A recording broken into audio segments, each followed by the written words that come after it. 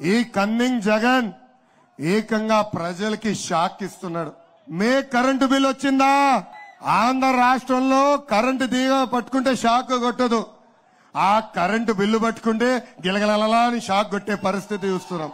నిన్న పాదయాత్ర చేస్తుంటే ఒక తల్లి వచ్చి బాబు గతంలో కేవలం మూడు మూడు వందల రూపాయలు బిల్లు వచ్చేది. ఈ జగన్ పన్నెండు వందల రూపాయలు బిల్లు ఈ నెలలో ఇచ్చి మాకు షాక్ కొట్టారని ఆ తల్లి బాధలు చెప్పుకుంటుంది.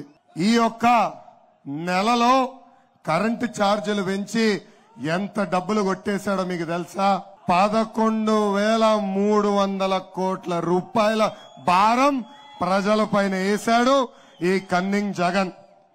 ఏకంగా ముఖ్యమంత్రి అయ్యేటప్పుడు ప్రమాణ స్వీకారం ఇట్లా చేతులు ఊపి కరెంటు ఛార్జీలు తగ్గిస్తానని చెప్పిన కన్నింగ్ జగన్ ఈ రోజు ఏకంగా కరెంటు ఛార్జీలు పెంచే పరిస్థితి.